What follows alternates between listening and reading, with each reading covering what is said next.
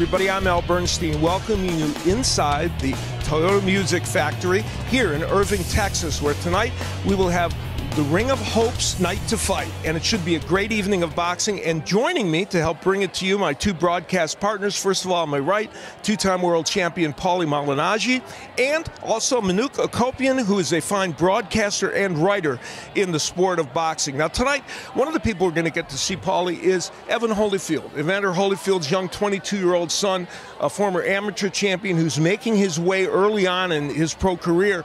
And it's not always easy, is it, to walk in the shadow of a famous boxer. You're right, Al. It's definitely not always easy. There are pros and cons to being the son of a legendary fighter. The pros are you know, you're going to get all the attention that many young fighters crave, many young fighters want at the beginning of their careers or, or throughout their careers. The cons are that you are going to be under the microscope almost immediately, and you're going to be judged by the championship status of your father. So let's see, we'll, we'll see tonight. We'll be able to judge the status of Evan Holyfield's progress. Yeah, it's going to be interesting to get a chance to see him. And Manouk, uh, the man he's facing, Dylan Carlson, believes this is a chance for him to uh, jumpstart his career. Yeah, here we have Holyfield, who was born into boxing royalty, and Carlson didn't get a start into sport until much later on in his life.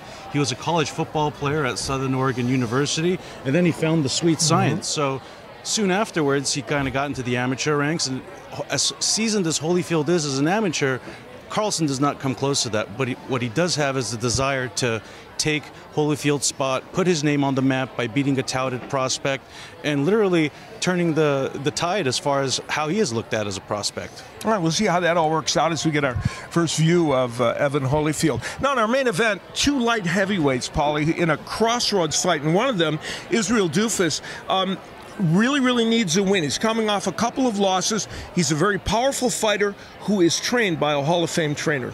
Again, more pros and cons when it comes to Israel Duffus. You know, the 19 and 6 record can be deceiving. He's got 16 KOs, big puncher. Mm-hmm. The problem is he's got a bit too much going on outside the ring. He's got a great trainer in Freddie, Freddie Roach, a legendary trainer in Freddie Roach, but sometimes he spreads himself a bit too thin. A video editor, a model, a, a boxer. Mm-hmm. You know, shall we say he's a jack of all trades? He's trying to become a master of one.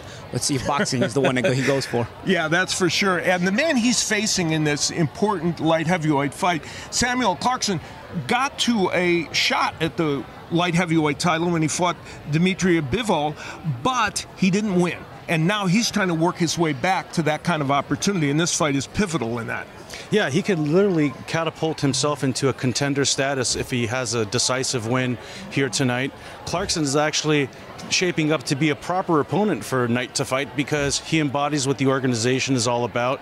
He grew up in the rough streets of Dallas and from the age of 16 to 18 was in and out of prison five times. So he really used boxing to turn his life around and now he wants to turn his career around and a great win tonight would really put him back on the map as a fighter to keep an eye on in the division. And now let's take a look at the tale of the tape for our first match. Yeah, we have Tristan Kalkreuth here, who's a light heavyweight signed with Golden Boy. This fight's actually going to be taken at cruiserweight. You know, Kalkreuth is an intriguing boxing prospect to keep an eye on as he matures into a man. He's only 18 years old, so the plan is for him to continue his career as a light heavyweight after this fight, and then someday transition into a heavyweight once he's established himself a little bit further. How quickly that happens, it remains to be seen, but he's essentially fighting a heavyweight tonight. You'll you'll see John Jackson uh, uh, shortly. He's a little soft in the middle, but look for Tristan to use his long limbs and power to punish the undersized Johnson tonight.